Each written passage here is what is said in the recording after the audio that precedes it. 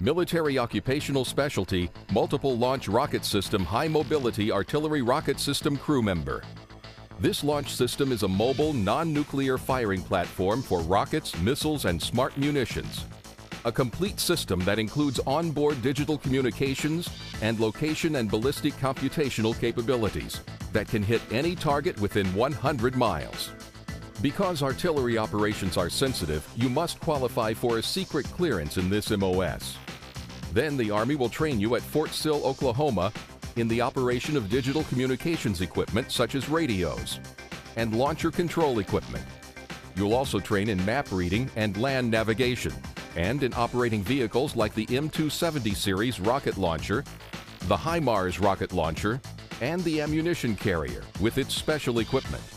In addition, you'll train to maintain both the electronic and mechanical systems.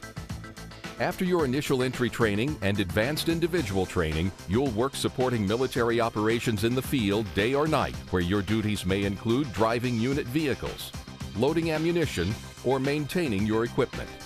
You may also carry out fire missions.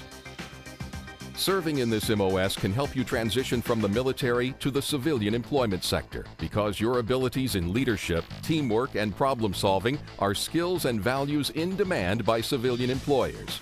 So, if you want to work with state of the art digital systems and be a powerful force on the battlefield, join the Field Artillery, the king of battle, and become a military occupational specialty, multiple launch rocket system high mobility artillery rocket system crew member.